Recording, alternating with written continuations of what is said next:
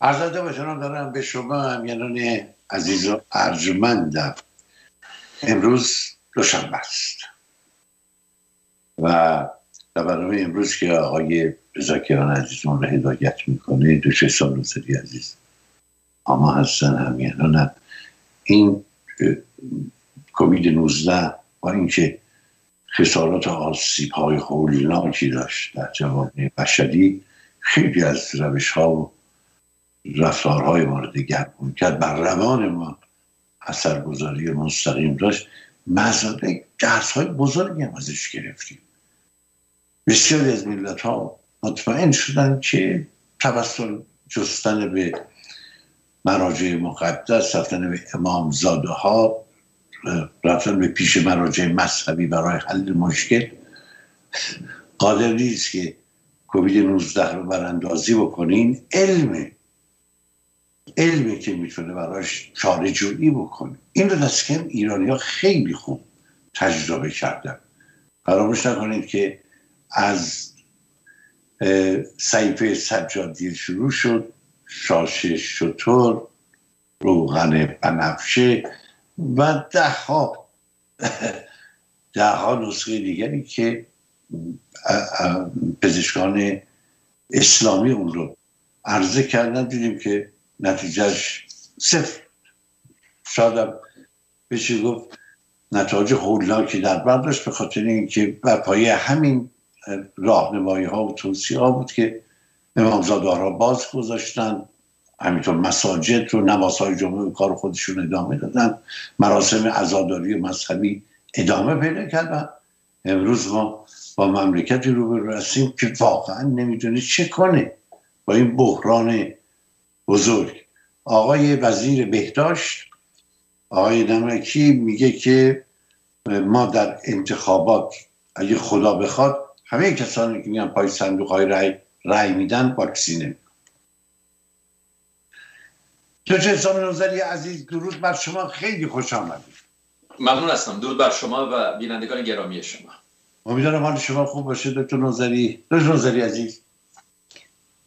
به نظرم یکی از مهمترین و محوریترین نتایجی که میشه از دوره بحران کرونا گرفت همین تثبیت حقانیت علم. اینکه علم پاسخگوی بسیاری از نیازهای بشری است. سراپا من چند ماه پیش فکر می‌کردم که در سالهای آینده از بحران کرونا اونچه که شاهد اون بودیم با عنوان یکی از بزرگترین رسوایی های تاریخ یاد میشه. اما به راستی لازم نیست چند سال صبر کنیم. همین الان همه کم و بیش متوجه شدند خوشبختانه که به راستی با یک رسوایی علمی شبه علمی ما سر و کار داریم. اگر شما نگاه کنید به پیشرفته ترین کشورهای دنیا به ایالات متحده امریکا به انگلستان بالاترین میزان مرگ و میر رو در بیمارستانهای خودشون دارن. کشورهایی که ادعای داشتن بهترین پزشکها رو دارن. کشورهایی که ادعای داشتن مجهزترین بیمارستانها رو دارن. از میهن عزیز خودمون که بگذریم که در اون خرافات واقعا در کار بودن. اون رو کنار بگذاریم. طبقه بیش از این هم از اونها نمیشه داشت.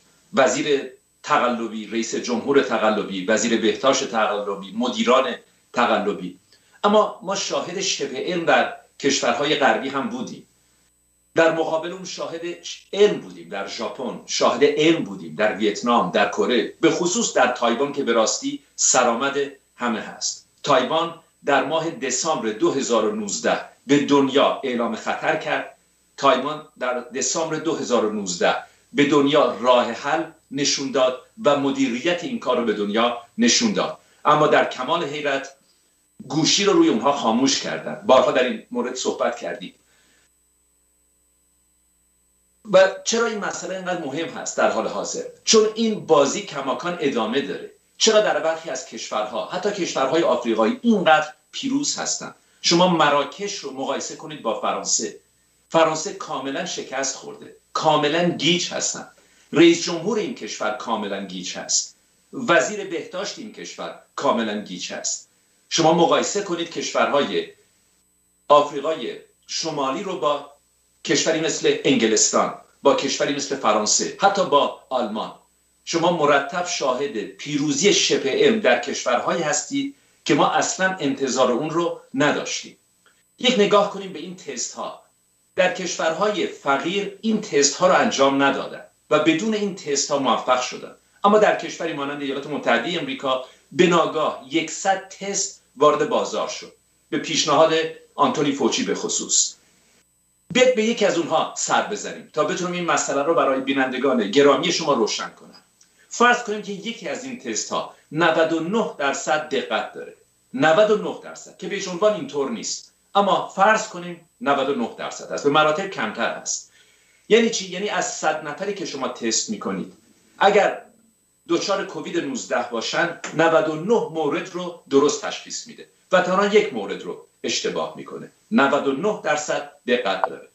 در ایالات متحده امریکا برای ماها به توصیه مقامات امریکایی ده میلیون نفر در هفته تست می شدن ده میلیون نفر. دقت این تست 99 درصد هست. یعنی یک درصد خطا می‌کنه. یک درصد ده میلیون نفر میشه یکصد هزار نفر. یک درصد خطا. برای ده میلیون نفر که در هر هفته اونها رو تست می‌کنند میشه یکصد هزار نفر. یعنی شما هر هفته به یکصد هزار امریکایی یک آگاهی غلط می‌دید. به اونها میگید که شما کووید 19 رو گرفتید در حالی که نگرفتن. شما هر هفته به یکصد هزار امریکایی میگید شما کووید 19 رو دارید در حالی که ندارن. و به دنبال اون سیاست هایی رو تعیین کردن. بارها ده ماه پیش دوازده ماه پیش در برنامه شما توضیح دادم که بین تست و تستینگ تفاوت هست. تست کووید 19 تست حاملگی نیست که سیاه و سفید باشه مثبت یا منفی باشه. تست داون سیندروم یا ترایزومی 21 نیست که مثبت یا منفی باشه. نیازمند به تفسیر هست. نیازمند به تفسیر. حالا فرض کنیم که دقت این تست 90 درصد بود. به مراتب از این پایین تر هست. تعداد اون 100 هزار نفر میشه یک میلیون نفر. بنابراین شما هر هفته به یک میلیون نفر سیاست هایی رو انجام می‌دید در مورد اونها که تنها کار دست شما میده. یعنی اینها رو شروع کردن به قرنطینه کردن. اینها رو در خانه ها محبوس کردن به خصوص در ایالت های امریکا در شهرهای امریکا که هوا سرد هست.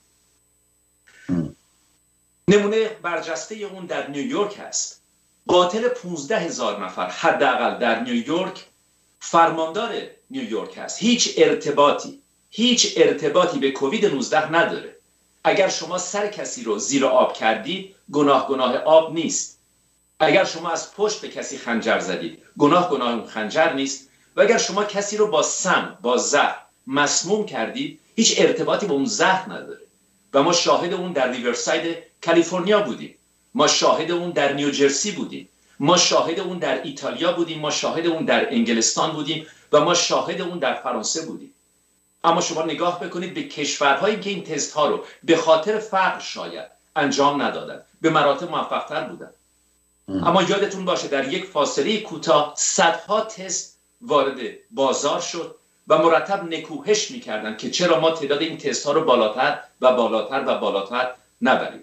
بنابراین مدلی ارزش شد. بر اساس داده های سازمان بهداشت جهانی که سرتاپا غلط بود مدلی ساخته شد توسط آقای فرگوسون آقای آنتونی فوچی که سرتاپا غلط بود تست های انجام شدن که حتی اگر 99 درصد دقت داشته باشن اون یک درصد کار دست شما میده و داد. و داد. بیاد یک مثال دیگه برای شما بزنم. شما زیاد میشنوید که اگر آدمی با کفش بخوابه روز بعد سردرد می‌گیره. بنابراین با کفش نخوابید. اما تنها انسانهای مست هستند که با کفش میخوابند. هیچ ارتباطی میان سردرد و کفش نیست. اونچه که باعث سردرد این آدمهایی میشه که با کفش میخوابند الکل هست. مصرف مشروبات الکلی هست. حالا این رو داشته باشید.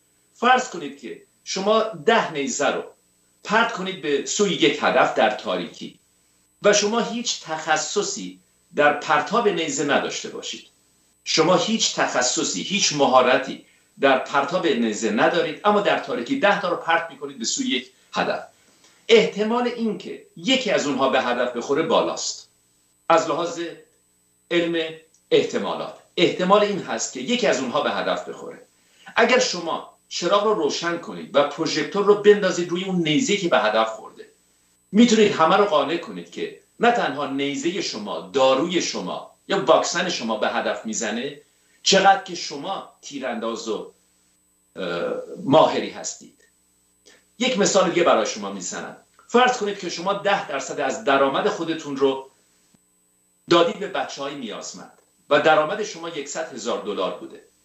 شما ده درصد از درآمد خودتون رو دادید به بچه های نیازمند. میشه ده هزار دلار. ده درصد یکصد هزار دلار میشه ده هزار دلار.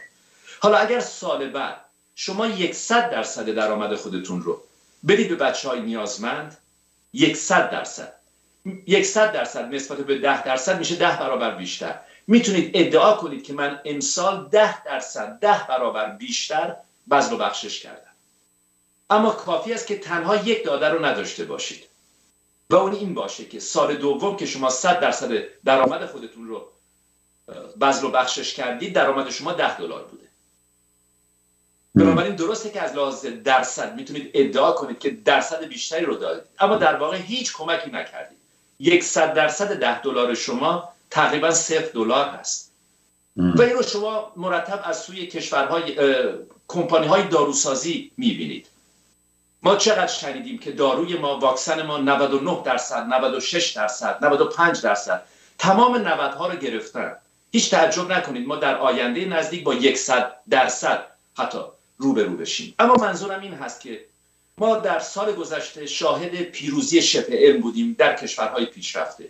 ما شاهد سوء استفاده از درصد بودیم به شیوه های گوناگون. ما شاهد اجرا یک مدلی بودیم که بر اساس اون آدم ها رو قرنطینه کردن. و قرنطینه کردن فول لاکتان علم نیست. و تفاوت هست میان اویدنس و علم. Evidence is not science. علم یعنی ساینس evidence یعنی شواهد و مدرک. شواهد و مدرک هیچ چیزی رو ثابت نمی کنن. این غلط هست که شما فکر بکنید که بر اساس شواهد و مدرک ها می‌تونید ادعایی بکنید. این یکی از بزرگترین فریبکاری های قرن اخیر هست. Evidence is not science. شواهد و مدرک علم نیستند شما می‌تونید یک آدمی رو ببینید بسیار جذاب یک جوان جذاب با یک تاکسیدو لباس شیک و پاپیون و کلاه. با یک رولز رویس از یک قصر زیبا خارج بشه.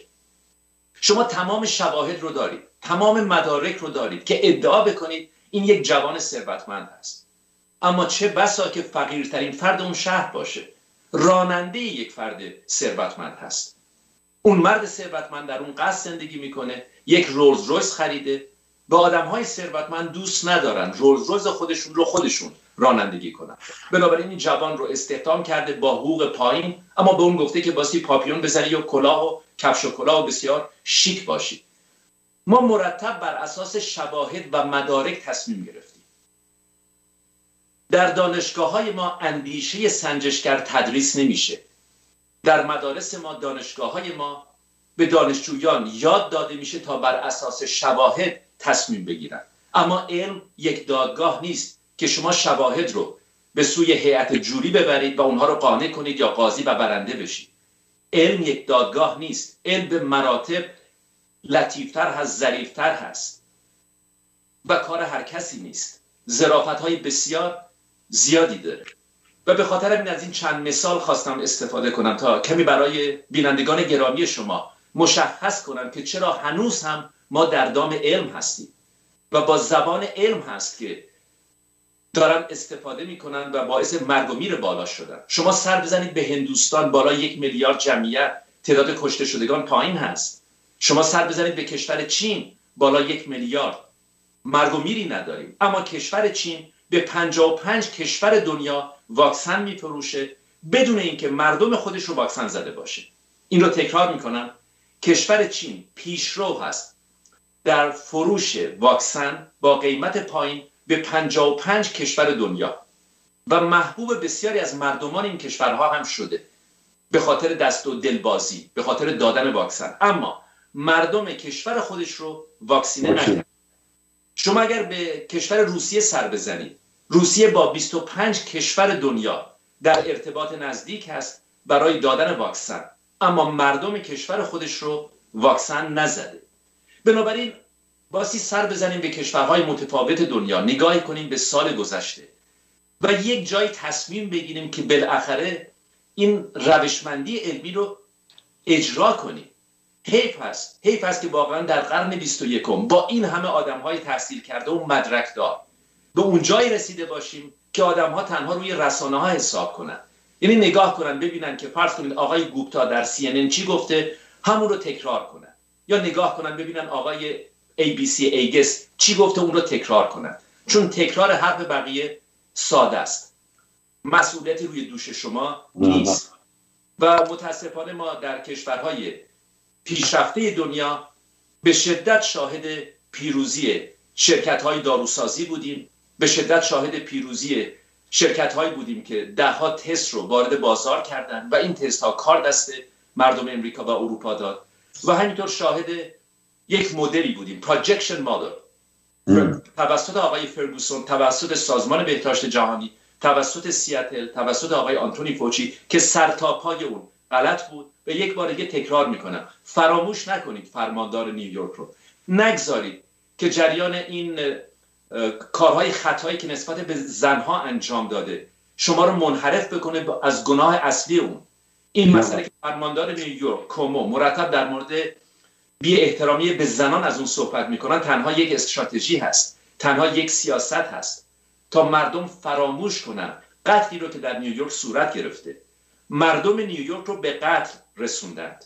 مردم نیوجرسی رو به قتل رسوندن هیچ ارتباطی هیچ ارتباطی به این ویروس نداره. دوزری اشاره کردید به کومو خب همه ما می‌دونیم همیانان در جریان چالش بر سر کووید 19 بین دولت فدرال دولت دونالد ترامپ و کومو جنگ بزرگ ایجاد شد و خیلی از گروه های سیاسی در آمریکا سعی می‌کردن به دولت مرکزی حالی بکنن که اگر از نسخه کومو پیروی می‌کردیم ما به چنین سرنوشتی نمی‌رسیم. واقعا یکی از کسانی که باعث تغییرات در نتایج انتخابات شد در ایالات متحده خیلی سخت معامله داشت در پس زدن دولت قبلی دولت دونالد ترامپ آقای کوموس اما حالا فاش میشه که سیاست هایی که نیویورک اعمال کرد علیه پاندمی کرونا یک سیاست مرگبار بوده. به ویژه علیه افراد سالمند. یعنی اولین گروه قربانیان این سیاست سالمندان بودن در خانه سالمندان رو بستن ارتباط سالمندان رو به دنیای بیرون قطع کردن ارتباط سالمندان رو با فرزندانشون با نبه هاشون یعنی اونها رو هم از روحی اسیر کردن. همین که بالاخره باعث مرگ اونها شدن اونم مرگ های دست جمعی. سال بیدی که الان می‌دونم که آقای دادستان نیویورک هم الان هم خب سرگرم تنظیم کیفرخواستیش که این مورد به عنوان یک مورد حالا به احتمال زیادی مورد جنایی ممکنه در رأس اتهامات قرار بگیره. علیه آقای کمان تو که کشور هم گفت ظاهرا نه زن تا به حال ازشون شکایت کردن زنان خیلی نزدیک بود یعنی کسانی که باش کار می‌کردن. ولی ناگهان این پرونده الان خیلی پررنگ شده. تا حدی که دیگه بعد رئیس جمهور ایالات متحده آمریکا نتونست از آقای کمو حمایت پشتیبانی کنه یا حمایتش رو ادامه بده. تسلیم شد. دکتر روزری اشاره کردی به ببینم در وحده نخست اینا اولین کاری که کردن این که در خانه سالمندان رو بستن. نیست یعنی در واقع اونا رو زودتر از همه قربانی کرد. اینه دقیقا. دقیقا. ببینید در ماه دسامبر وزارت بهداشت تایوان تماس گرفتن با گروه تسک فورس در ایالات متحده امریکا و به اونها گفتند که این ویروس مرگ و میرش 8 ممیز چهار نیست. گزارش سازمان بهداشت جهانی دروغ هست و میان انسان ها احتمال ترانسمیشن هست. اما قشر خاصی رو هدف می‌گیره و نیازمند به مدیریت هست. قشر خاصی رو هدف می‌گیره. بچه ها در خطر نیستن. نوزادان خردسالان به هیچ عنوان در خطر نیستن. نوزادان ما به مراتب بیشتر در خطر سرماخوردگی هستند مرگ و میر در مورد سرماخوردگی بسیار بسیار بالاتر هست. بنابراین مراقب سال مندان بایستی بود. اما در فصل زمستان سالمندان رو در آسمان خراش های کهنه نیویورک و نیوجرسی و بسیار ایالت های دیگه برای هفته ها محبوس کردن.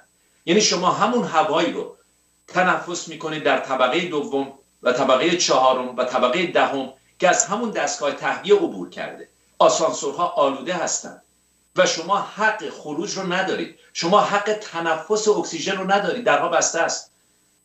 و ما می‌دونیم که چقدر شما نیازمند به اکسیژن هستید. و بعد ترس.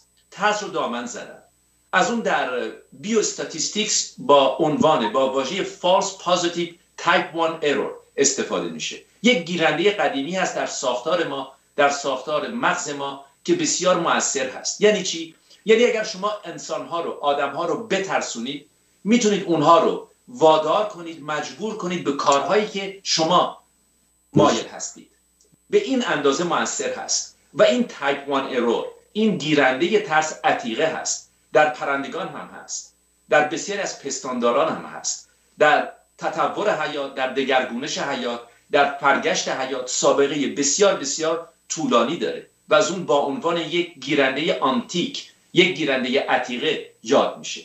برای نمونه شما یک شب در بیابانی هستید و صدای باد میاد و تاریک هست. شما ترجیح می‌دید فرار کنید. مبادا که این صدا صدای باد نباشه و یک شیر درنده باشه. در صورتی که به راستی صدای باد هست. این گیرنده به درد گذشتگان ما میخورده. اگر سر بزنیم به یک میلیون سال پیش به سه میلیون سال پیش. اما نه در دنیای مدرن. اما در دنیای مدرن شرکت های داروسازی سیاست پیشگان یا اونهایی که تحصیل کردگانی که مدارک مصنوعی دارن ساختگی دارن مرتب از اونها استفاده می‌کنن. یادتون باشه در ایالات متحده امریکا در سال 55 هزار نفر دکترا می‌گیرن. تقریبا بالای 90 درصد اونها ارزش علمی ندارن. دکترا در رفاه اجتماعی دکترا در امور اجتماعی دکترا در طب سوزنی. همینطور 54 هزار نفر. ما دکترهایی داریم که تنها دوازده ماه دوره میگذرونن. بسیاری از اونها آنلاین حتی در کلاسی حضور پیدا نمی‌کنن. و کاملا در امریکا لجام گسیخته شده. یعنی با این عنوان دکتر به راحتی سر مردم رو کلاه می‌گذارن. جلوی اون رو هم بایستی گرفت. ما مرتب شاهد رشد کالج ها و دانشکده هایی هستیم در ایالات متحده امریکا که پایه قوی ندارن. شما نمی‌تونید در یک شهر صدها و صدها کالج و دانشگاه داشته باشید با این کیفیت پایین. و این هم به راستی کار داده دست کشورهای بزرگ دنیا به خصوص ایالات متحده امریکا. شما از ایران صحبت کردید. در ایران که ما به راستی می‌دونیم. شما در ایران مسئولی ابتکار رو دارید یک متقلب بزرگ. مچ رو گرفتن به خاطر تقلب. شما حسن روحانی رو دارید. قادر نیست حتی یک جمله انگلیسی صحبت بکنه. اما فارغ التحصیل یک دانشگاه در اسکاتلند هست. شما در بسیار از شخصیت های دیگه در دکتر علی شریعتی هیچ تحصیلاتی نداره. شما اگر به نوشتهاش توجه بکنید واقعا آدم حیرت می‌کنه که چقدر یک آدم می‌تونه عقب افتاده باشه. اما ذهن مردم رو اینطور شستشو داد. من امیدوار هستم که کشورهای غربی و به خصوص بینندگان شما بینندگان گرامی شما پس از گذشت یک سال به خودشون بیان. ما هم هر کدوم از ما مسئولیتی داریم. و به راستی این اندیشه سنجشگر رو باستی مرتب تمرین کرد. یک پدیده هست با عنوان inverse of conditional در بیوستاتیستیکس. یک مثال برای شما می‌زنم. شما میگید اگر بارون بیاد زمین خیس میشه. صبح بلند میشید و زمین رو نگاه می‌کنید ببینید زمین خیس هست. اعلام می‌کنید که دیشب باران اومده. اما در صورت که هیچ واقعیتی می‌تونه نداشته باشه. ممکنه زمین خیس باشه به هزاران دلیل دیگه. فرض کنید بچه عبور کرده سطل آبی اونجا بوده پاش به اون سطل آب خورده و آب ریخته. اما شما به راحتی می‌تونید ادعایی کنید پدیده رخ بده و بر اساس اون پدیده بخواید سعی کنید اون ادعای خودتون رو ثابت کنید. این inverse of conditional هم مرتب ما شاهد اون بودیم در طول یک سال گذشته در مورد کووید 19 تشکر می‌کنم دکتر نوزری. حتما گفتگو رو پی بگیریم همیانان هم در تایید سخنان دکتر نوزری در ایتالیا در یک انبار 25 میلیون دوز واکسن آسترازنکا کش شده. این در حالی است که اروپا با کمبود واکسن روبروست. مشخص شده که این واکسن ها که متعلق به یک خانواده پولدار آلمانی است که دارای کارخانه داروسازی در هلند هستن. تولید شده لابد برای قاچاق کشورهای مختلف بدونی که اتحادیه اروپا خبردار باشه. این هم نشانه, نشانه های سوداگری در دوره بحران کرونا. ممنون از دکتر حسام نوزری. دکتر خیلی تشکر می‌کنم از حضور شما. بعد من گفتگو رو پی می‌گیریم. رضا کیهان عزیز برنامه رو کرد ممنون. ممنون هستم.